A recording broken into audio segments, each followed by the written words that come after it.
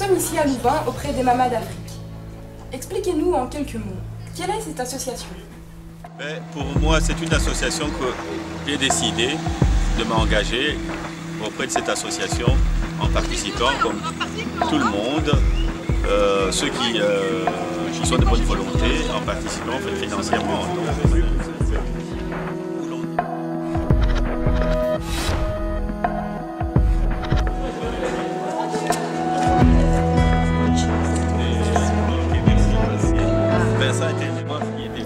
Je pense que vous-même avez un fils ambassadeur de SOS Village. Expliquez-nous cela. En tant qu'ambassadeur pour ce projet-là au Congo, SOS est dans plus de 136 pays au monde. Euh, ça, ça m'a donné beaucoup d'espoir. Hein, C'était euh, la belle gifle qu'il fallait pour me dire les rêves peuvent se transformer en réalité si les gens de bonne volonté s'y mettent, si on ne gaspille pas d'argent pour euh, des futilités.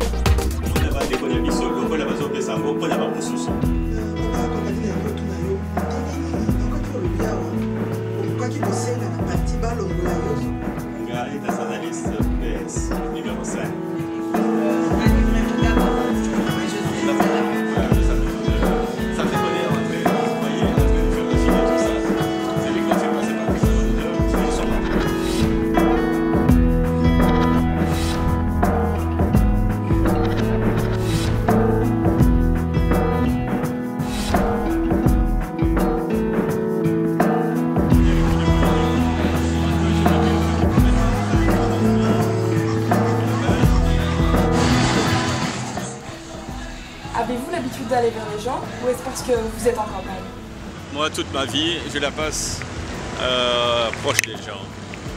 Euh, c'est ma façon d'être. Et mes enfants, je crois que ma famille, mes enfants savent très bien que je suis comme ça. Alors, quels sont les points forts de votre travail C'est surtout une attention à l'éducation, lutte contre l'iso- l'isolement des personnes âgées et la protection de l'enfance.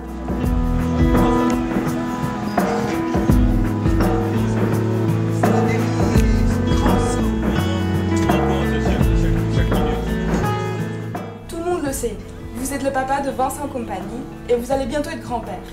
Que représente la famille pour vous? Là, c'est l'une des plus grandes valeurs qu'on puisse avoir. hein. Euh, je ne pense pas que ça ne soit que pour moi. Euh, c'est une valeur qui doit être une valeur universelle.